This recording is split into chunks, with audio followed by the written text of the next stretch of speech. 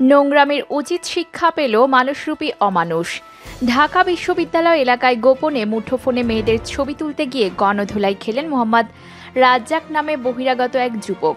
পরে শাহবাগ থানা পুলিশের কাছে সোপর্দ করেন বিশ্ববিদ্যালয়ের শিক্ষার্থীরা।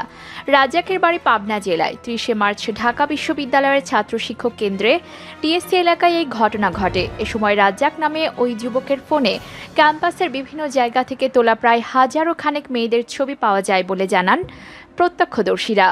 প্রত্যক্ষদর্শী ঢাকা বিশ্ববিদ্যালয়ের শিক্ষার্থী আকাশ জানান, টিএসসি ডাচ চত্বরে এক ভাই ও আপু বসে আড্ডা দেওয়ার এক পর্যায়ে এই যুবক আপুটির ছবি তোলে। বিষয়টি ভাই দেখে ফেলে ওকে ধরে ফেলেন, পরে তাকে শাহবাগ থানায় সোপর্দ করা হয়। শাহবাগ থানা ভারপ্রাপ্ত কর্মকর্তা ওসি মৌদুদ হাওলাদার বলেন এই ব্যাপারে তিনি অবগত নন। এ বিষয়ে জানার পর বিস্তারিত জানানোর কথাও বলেন তিনি।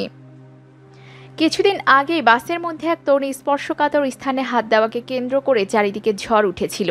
তার সপ্তাহ দুয়েক না বেরোতেই এবার ঢাবিতে এমন একটি ঘটনা। এই লম্পটদের এমনই বিচার হওয়া উচিত নয় কি? মেয়েদের গোপন ছবি তোলার অপরাধে এই লম্পটকে গণধোলায় আপনি খুশি হলে ভিডিওটির কমেন্ট বক্সে অবশ্যই ইয়েস লিখে আপনার অনুভূতি জানিয়ে দিন।